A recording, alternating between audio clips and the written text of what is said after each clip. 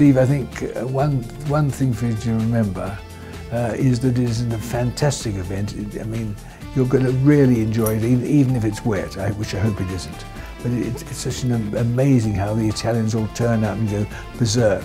And you've got to realise that, that, that to them it is as important a day as it is to you. And so just have fun.